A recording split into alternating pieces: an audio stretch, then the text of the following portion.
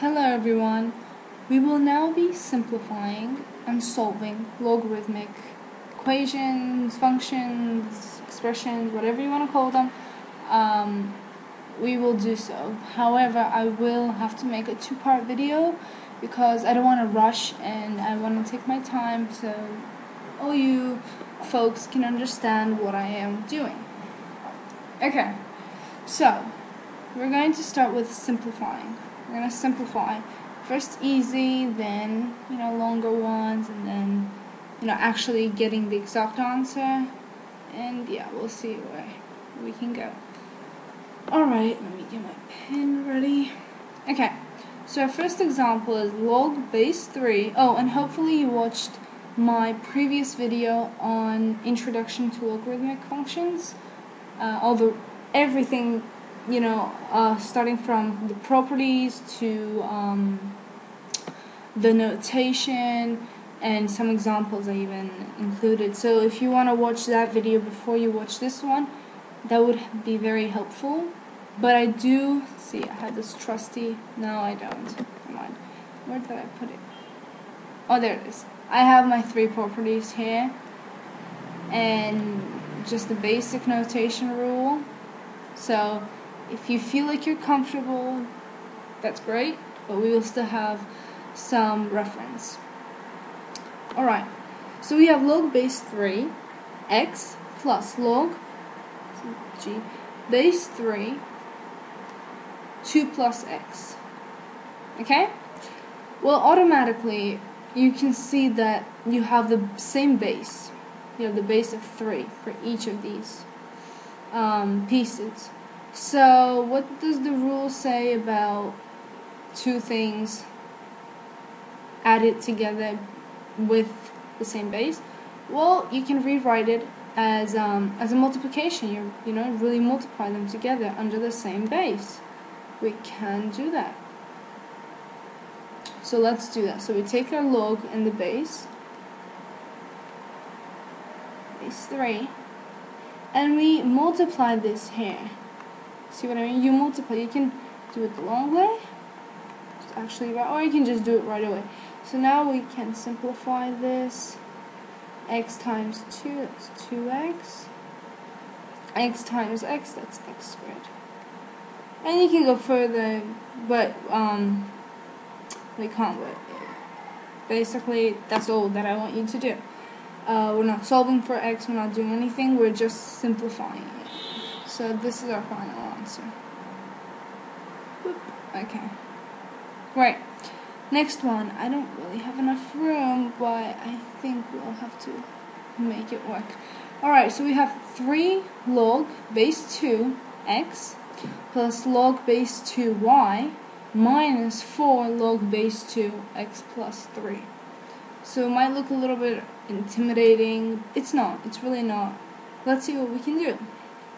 Well, personally, when I'm simplifying logs, I don't like having numbers in front. See, this one has a nothing in front, so that's good.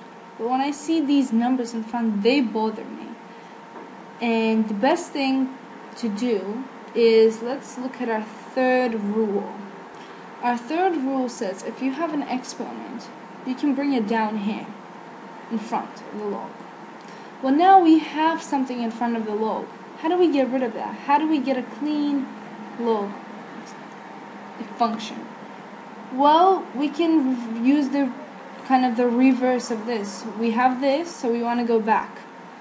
We can put that exponent back in its place in front of the m, on top of the m, basically.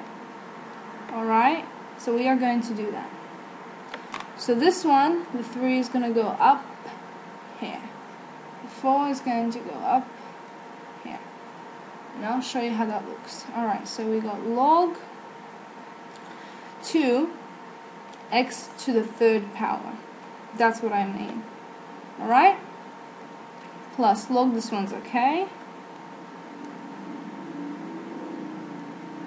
And you may have a different way of doing this, you know, maybe you do this last, but I recommend you do that first so you can see what you are working with. Okay, um, and then you can you, you put the 4 up there to the fourth power. Alright? Great. Now what can we do? Well, we have an we have first of all these logs have the same base of 2. Correct?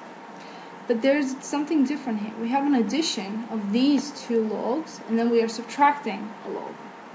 So what I would do is take care of the addition first always um, and then go to this. So I'm just going to make some square brackets there and recall adding two logs with the same base, just as we did in the first question, the same thing as multiplying them together, right?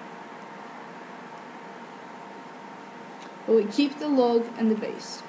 So to rewrite this, we get 2 x to the third times y.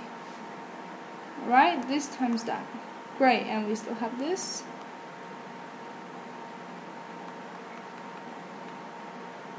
Okay, so we are almost done. Oh, base two. So we still have the same base. Always having the same base is just so much easier to work with. It's fantastic. Okay. Our last step is, well, hold on. We are subtracting. What does it mean to subtract? Let's look again. When we are subtracting two logs with the same bases, it's the same thing as putting it under a fraction, you know, ratio. So let's do that. So we still have our log base 2, this over this. Alright? So we have x to the third y over x plus 3 to the fourth and there's our final answer. We don't want to do anything, I mean, it's not necessary and not needed, and you really can't do anything. Um, so this is our final answer. I hope it's, you know, catching on because um, look at this huge expression, look at this tiny thing. It's much easier to work with. Okay, now this is also simplifying, but this is a different simplification. You are actually working with numbers now. Um, and we will be we can say solving a log function. Um, okay so we have log base 3 1 over 81 equals y. I put a little rule here. This is the rule between a log function and an exponential function. How this looks in exponential form basically. Okay and we will need this in order to because we are starting we are just beginning to do these types of problems. So we need to put them in exponential form in order to understand because we are well aware and well familiar with exponentials. So um, and it's easier to work like that. It's much easier. So if we put this function uh, to exponential form how will it look? Well we know the base is a 3. We know the exponent, sorry, the expo, oh my god, the exponent is the y right there. The, um, the, um, what's after the equal sign basically. So this is the exponent. Your answer is your exponent. Equals what? Well, equals the x. What is the x? This thing right here. So this is your answer we took this and put it in exponential form and let's quickly see what we can do. Well, we have a base of 3 here. We have an 81. Can we change this 81 to a base of 3? Yes, we can. Um, this is the same thing, same thing as writing 3 to the 4th. Okay? So great, we have the same base, but now we need to, you know, we need to get rid of some stuff. I'm talking about this one. How do we bring this up here? What do we need to change? Well, hopefully you know exponential rules and all that. If you want to bring this up here, your well, let me write it. Your exponent will become negative. Because let's work backward. If we have, if we were given, ignore this for a sec. If we were given this, we would rewrite this as 1 over 3 to the 4th, which, what we, which is what we have here. Right, so hopefully you see the connection. Oops. Okay, so we have the same base, and we just let the exponents equal each other. There is our answer. Negative 4. Okay? Let me... That's a bad line. Alright, okay, this one's a little different. You are used to having small numbers and a bigger number here, right? Let's see. Yeah, we would have, well, I mean, not really, but, okay, never mind, just ignore what I just said. um, let's see. We have a log function of log base 27, uh, 3 equals y. It doesn't matter where you put your y in front or means the same thing. Let's put it in exponential form. So we know I want to try to do this without, try to do this without looking at your rule. So your brain kind of gets it. And so your exponent, I mean your base is your 27. Your exponent is your y. And your answer is this thing. Alright, so you're thinking, hold on, what do I do? Actually, I wanted to change it. Yeah so it would make sense. Can we say this is a 9? Because we are starting off and I don't want to get there yet. So say this is a 9, okay? So if I put a 9, same thing. So we get 9y equals 3. Okay, you're thinking, well, what do I do? You have to think in terms of this. 3 is the square root of 9, right? Well, square root is, you know, 1 half, so 1 half. So actually y equals 1 half. Because 9 to the 1 half, same thing as root, uh, the square root of 9. What is the square root of 9? It's 3. And 3 equals 3. Okay, so what is 9, what, what power 9 does 9 need to be in order to equal 3? Well, 1 half. Hopefully you see you see this connection, right? Y is one half. Alright? Okay, our next one's actually right here. Oops. Okay, so we have 5 to the log base 5 equals 10. Okay? So this one is actually in exponential form we have to go backwards. Let's look at our rule. We are in this form right now. We need to go back to log.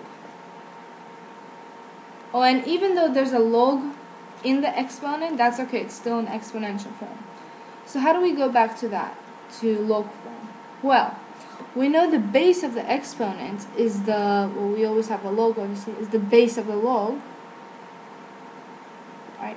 The answer Oops, hold on. My thing is not working good. This right here, the exponent is the answer, right? No, actually, I'm gonna. What is right here? What, what goes in here? Well, in here, for logs, it's the answer of your exponential function. Okay? So here goes the y. Equals the exponent. What is the exponent? Log base 5, 10. Okay, and now um, I hope you notice that we have the same bases, the 5. The 5s are the same, meaning we can let these guys equal each other. y equals 10. Okay? We are coming to an end to our video. Is the last example? Yes, this is the last example and I'll do a bunch more. This is a similar, very, very, very similar example to almost the same. Uh, this one, I just want to practice again with different values. Okay, so is that nine? Is it a nine? That I wanted? No, actually, it was. I think it was a four. That I. Yeah, this say this is a four. Okay. So like I said, when I'm simplifying things like this, I don't like having these numbers in front. I have nothing here. We want to put them up back to our exponent as an exponent. Um, let's do that. So we will have log base 6, okay, 5 to the fourth power plus log, this one's fine, minus log base 6, 4 to the fifth power. Great. We have clean logs.